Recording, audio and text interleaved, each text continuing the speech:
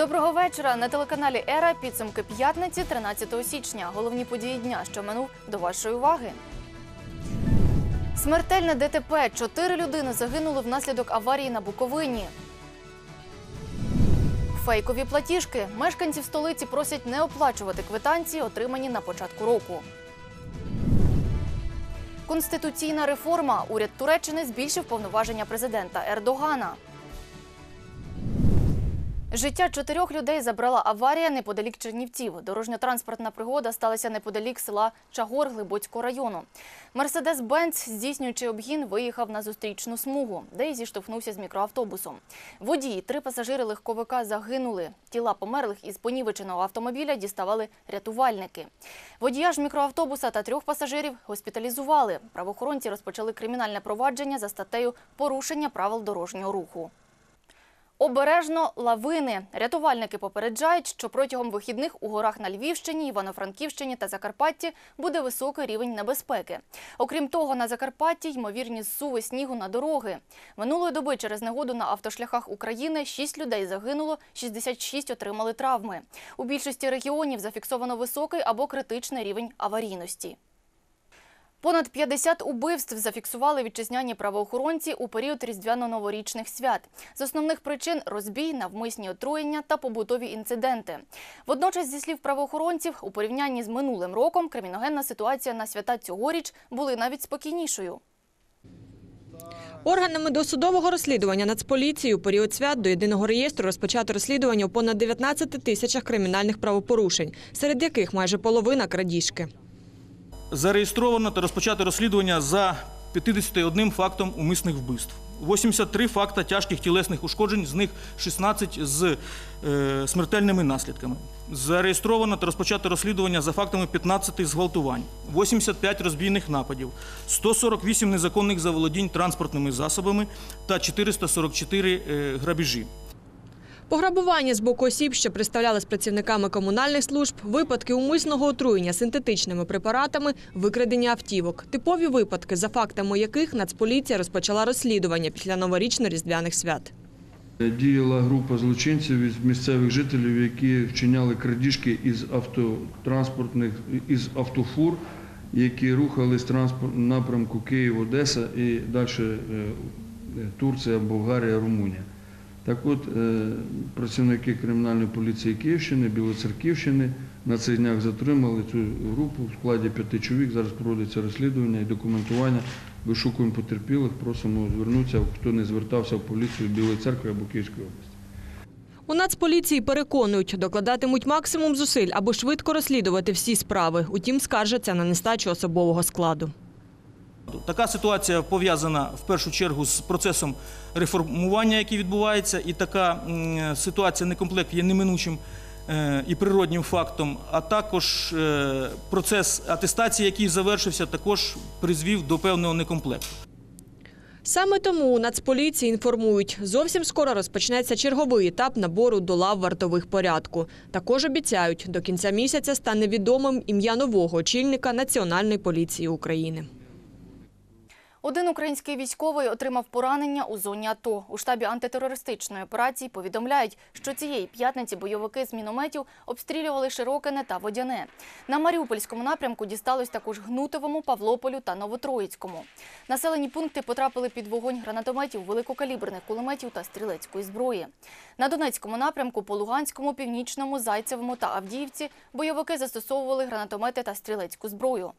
По Кринському на Луганщині вогонь вів снайпер. Загалом зафіксовано 17 обстрілів. Капелани Української православної церкви привітали бійців на сході країни з Різдвом. Разом із молитвою священники привезли військовим солодкі подарунки, продукти, гуманітарну допомогу необхідну для облаштування казарм, а також інструменти для ремонту техніки.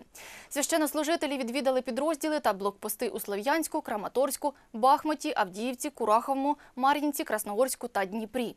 В УПЦ наголошують, що капелани працюють лише з українськими військовими і не їздять на непідконтрольні території. Разом із священнослужителями бійців АТО відвідали і вихованці київських духовних шкіл. Від цього року капеланство стане для них одним із навчальних предметів. Російська влада позиціонує кримських татар та українців, що мешкають на території Криму, як терористів, екстремістів та диверсантів, заявляють правозахисники. За їхніми словами, активісти, які чинять спротив незаконній окупації півострова, постійно піддаються утискам, затриманням, адміністративному та кримінальному переслідуванню. Такі дії Російської Федерації є тотальним порушенням прав людини, кажуть юристи. Что происходит? Неравнодушные люди выходят, освещают ситуацию и становятся теми, э, на кого ФСБ собирает досье, их фотографируют, э, собирают досье и потом отрабатывают. Это Происходит запугивание и э, преследование э, активистов для того, чтобы подавить освещение э, всех правонарушений в Крыму. Найголовніше це стратегія інформаційної реінтеграції. Це документ, який е, м, матиме нагоду дати меседжі, чи комунікаційний документ, який надасть можливість зрозуміти, як розмовляти з кожною аудиторією Україна, Крим, світ. І важливо, щоб е, в кримчан це відчуття, що ну принаймні українцям. Це не байдуже, воно було, і про це цей документ. Ми його плануємо представити вже наприкінці березня. Мешканців столиці просять не розраховуватися за отриманими на початку року платіжками, які киянам надіслав головний інформаційно-обчислювальний центр КМДА. У Київенерго зазначають, інакше неможливо буде гарантувати надходження коштів за спожиті послуги. У компанії звертаються до киян, аби вони розраховувалися за платіжками старого зразка і пояснюють. Розрахунки за електроенергію надійдуть до 16 січня, а за опалення і гарячу воду з 15 до 22 січня. Оприлюднення так званого списку Савченко та розслідування конфлікту з елементами трилеру за участю Сергія Пашинського. Початок нового політичного року виявився навдивовиж бурхливим, кажуть вітчизняні спостерігачі. Утім, додають, відповіді на більшість питань, як внутрішньополітичних, так і щодо зовнішнього вектора, можна буде спрогнозувати лише після інавгурації обраного президента США.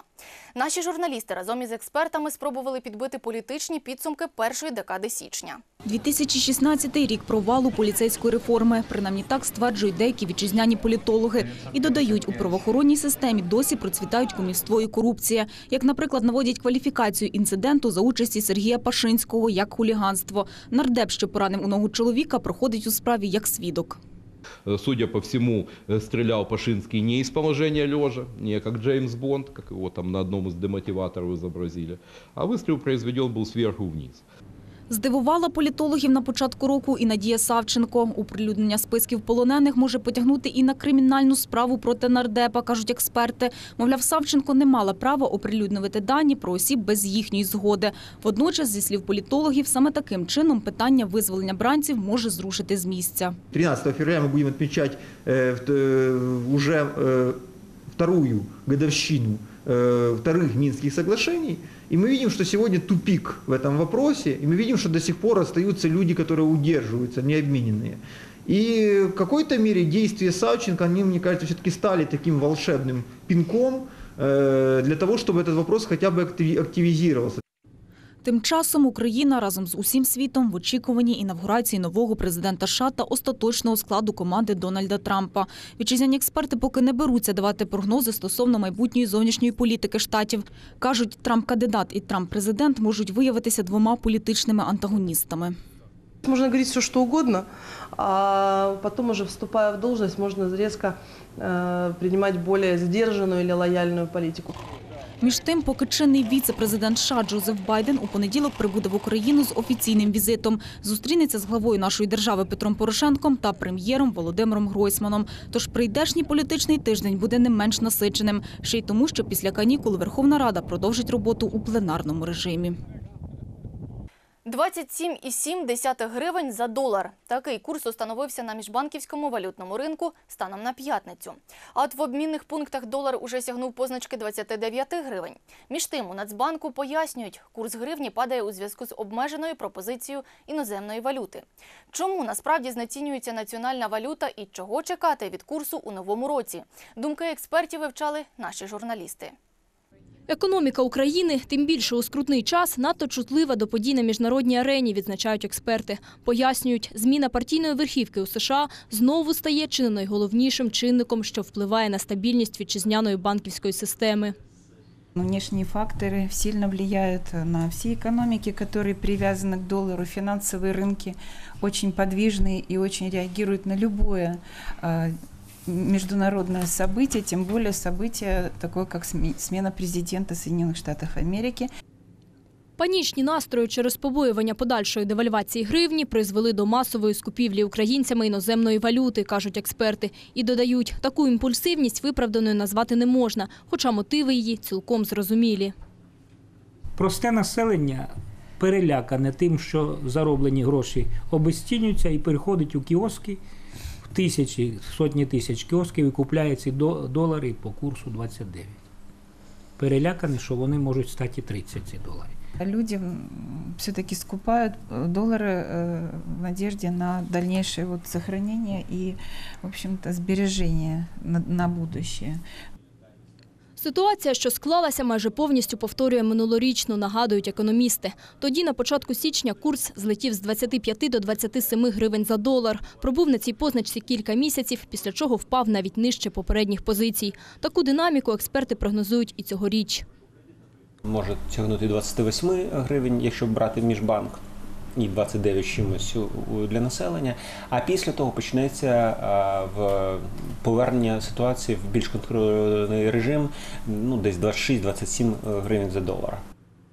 Для того, аби гривня не падала, в країну повинні заходити долари у вигляді експортної виручки, пояснюють фахівці. І заспокоюють, знеціненню гривні зарадять аукціони з продажу іноземної валюти, запроваджені Нацбанком. Викинувши 2, е, 10 мільярдів, тобто 100 мільярдів гри- 100 мільйонів гривень, доларів, Нацбанк забере з ринку 3 мільярди гривень. По курсу 30 це скільки? 3 мільярди. Кількість гривні зменшиться і гривня стабілізується. В цілому ж експерти в своїх прогнозах щодо курсу нацвалюти обережні. Якщо ми говоримо на кінець року, то о, цілком можливо, що гривня вийде за е, коридор там 27, десь може бути до 28 гривень за долар, але це скоріше от, ближче туди до о, осі, ну, кінця осені, зими е, нас- ну, цю- цього року. Мой прогноз 30-32 все-таки. Основан он на том, что вот новый транш от МВФ вряд ли мы скоро получим. Это раз. Во-вторых, все-таки неспроста была установлена минимальная зарплата 3200. Свого апогею курс долара може сягнути наприкінці січня, припускають економісти. І додають, на істотну зміну позиції гривні по відношенню до іноземних валют раніше середини лютого розраховувати не варто. Одразу дві смертельні пожежі сталися у США. Одна спалахнула в штаті Алабама. Там загорівся дім на колесах. Загинуло троє дітей віком до 11 років. Друга трагедія розгорнулася у місті Балтимор. Там ущент вигорів триповерховий будинок. Жертвами знову стала малеча. Подробиці на початку огляду міжнародних новин. Шестеро дітей загинули під час пожежі в американському Балтиморі. Найменший було лише 9 місяців, найстарший – 11 років. Вижити вдалося лише матері та трьом дітлахам. Нині вони у лікарні. Їхній стан критичний. Відомо, що одна з дівчаток, які було лише 8 років, допомогла врятуватися своїм молодшим братам. Вона вижила, утім її стан важкий. Батька під час трагедії вдома не було. Він перебував на роботі. У Туреччині депутати таки ухвалили зміни до головного закону, що збільшують повноваження президента Ердогана. Віднині парламенту належатимуть здебільшого контролюючі функції. Натомість глава держави матиме можливість видавати виконавчі розпорядження та бути членом партії, що раніше було заборонено. При цьому перебувати на президентській посаді глава держави тепер зможе не більше двох п'ятирічних термінів. Тоді як раніше гаранта обирали на сім років без права на переобрання. Нагадуємо, імовірність ухвалення змін до конституції спричинили у Туреччині масові протести з боку опозиції. Багаті теж плачуть. Президент США Барак Обама розчулив Джозефа Байдена, нагородивши останнього медалю свободи з відзнакою. Обама назвав Байдена найкращим віце-президентом в історії США. Той під час церемонії не зміг стримати сліз. Цікаво, що Джо Байден став першим, кого Обама нагородив медалю з відзнакою. Зв'язатися з нами ви можете за посиланнями, які нині бачите на екрані. Чергові підсумки телеканал Ера підбиватиме уже наступного тижня. Зустрічайте у цій студії Дмитра Теленкова. Ну а ми з вами побачимося за тиждень. Гарних вам вихідних.